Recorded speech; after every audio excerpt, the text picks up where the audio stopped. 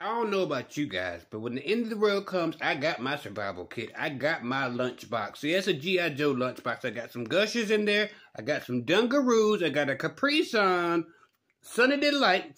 What else, what else, what else, what else? And some grapes. They probably won't be making They won't make it. Um, but what will survive is oh, oh, oh, a fruit by the foot. Those things do not, there's no expiration date on no Gushers, no fruit, no snacks. I got that. And I got some uh, Raisinets Mmm, delicious. And also, I think I'm gonna put in there uh, a Go-Gurt.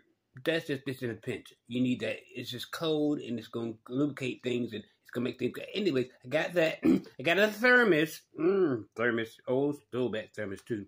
I think that was one. The, the lunchbox of GI Joe. The thermos is. I think it's um back there. Think it's uh crap. Gargoyles, gargoyles, thumbers, um, lunchbox GI Joes got the